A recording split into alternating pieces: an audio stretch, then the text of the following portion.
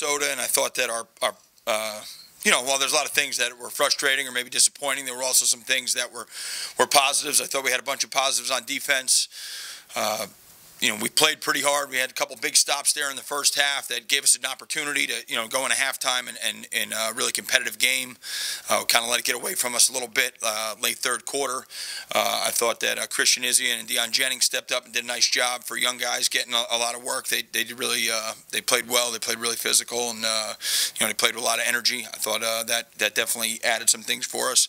and I was really proud of the way that we kind of finished the game on offense. We at least put some things out there. Is one of the big things I've been trying trying to push our guys on is that you know we have to just keep playing no matter what the score is so we have an opportunity to grow and get better and have something to build off for the next week and i think we did that a little bit in the third and fourth quarter. Uh, you know and then obviously we got a great opportunity uh, should be a really good game on saturday and you know i think the, the players are really excited to go forward and, and get back to work.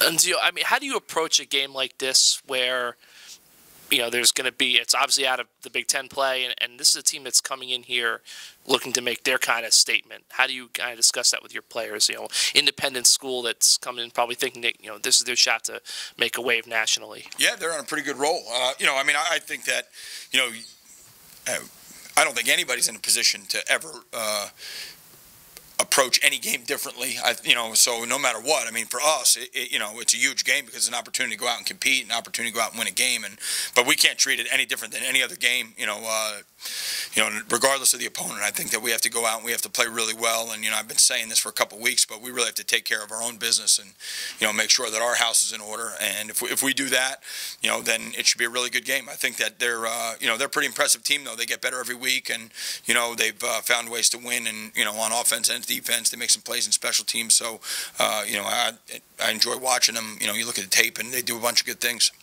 After a solid performance last week from uh, Adams, is there a plan to redshirt him or get him more carries? Uh, I don't know that the plan's ever been a redshirt. I mean, I think we'll play it by ear, you know, and just see what's, you know, what happens. But I think he's a heck of a football player. I mean, I think he's kind of ready to go, and you know, you know, we got to find a way to probably get him in the game earlier.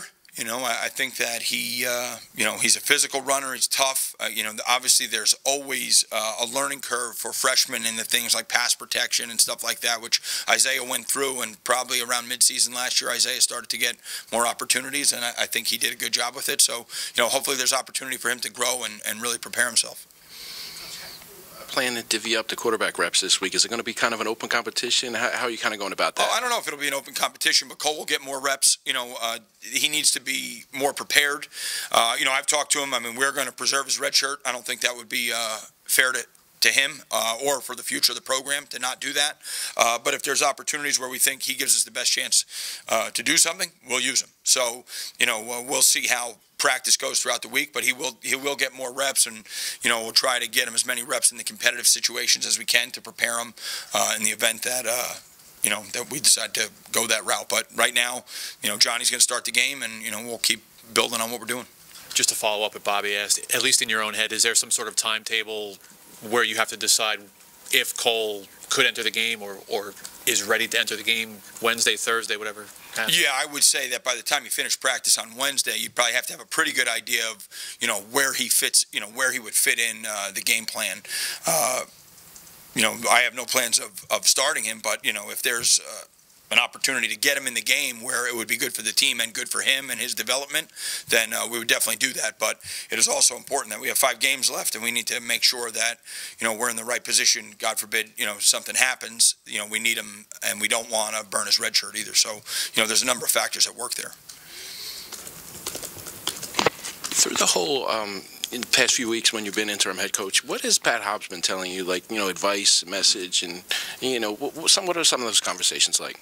Uh, he's just been really positive. You know, I mean, he understands the situation that we're in, and I, I think that, you know, what are the things that we're looking for? And we're looking for growth. We're looking for improvement. We're looking for effort. Uh, you know, some of it is individual growth. You know, it doesn't really necessarily all show up uh, on game day, but you know, I think like even the way the game ended and the way the guys competed in the fourth quarter, and you know, a couple good things happened on offense. You know, he recognizes that. I mean, you know, I think we're all well aware of the, you know, the situation that we've been in for the, you know, last few months. So uh, we're just looking to try and keep getting better. And obviously, there's some really tough games coming down the road. So, you know, this has to be an opportunity for us to, to show some legitimate growth uh, this coming week.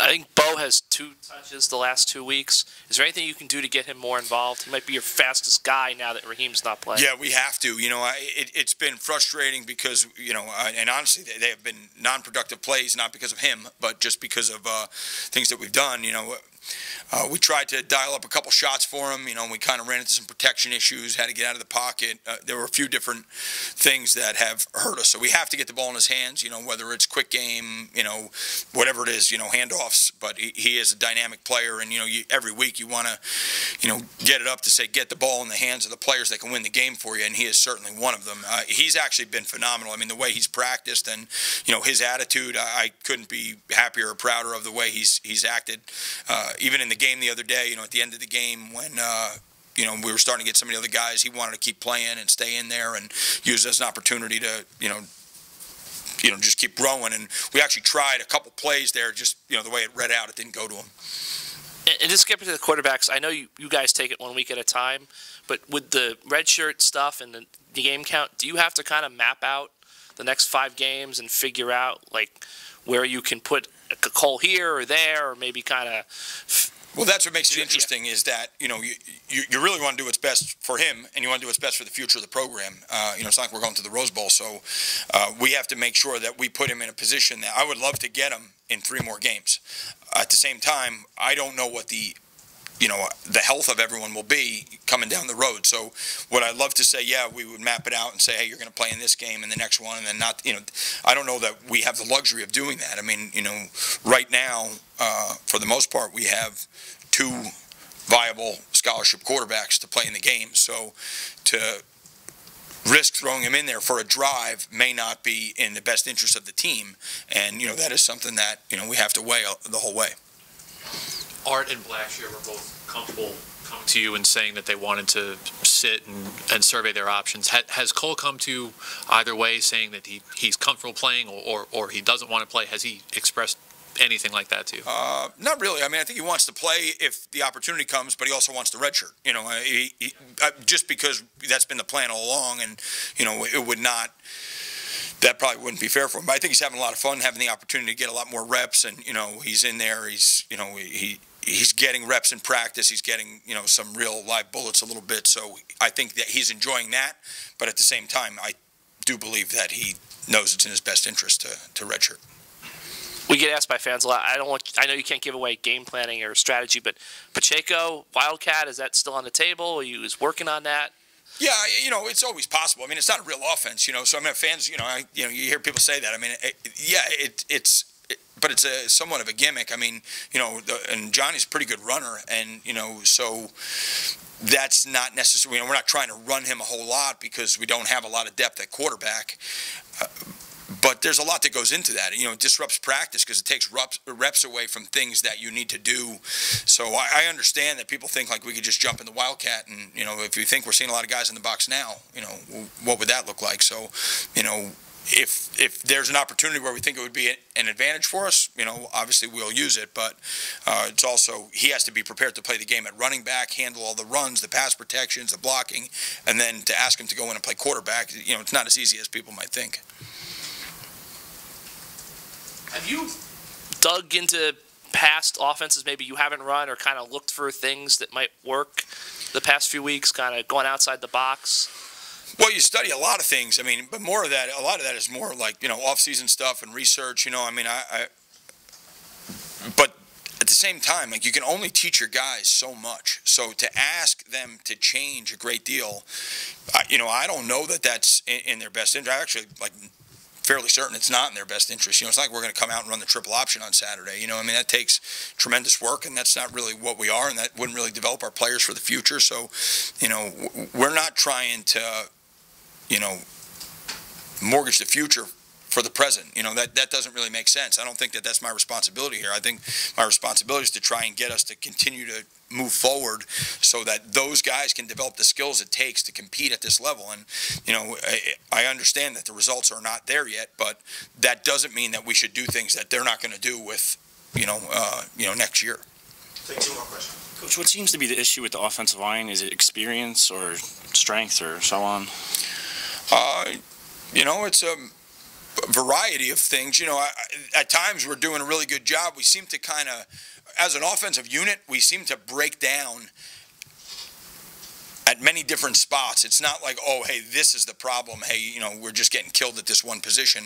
Uh, across the board, you know, we'll protect it well, we'll miss the throw. We'll protect it well, we'll throw a good ball, we might drop it, or maybe we run the route two yards too deep, or you know, we'll go out there and we have everything wired up and we just miss the block. So it, it seems like across the board that's been an issue.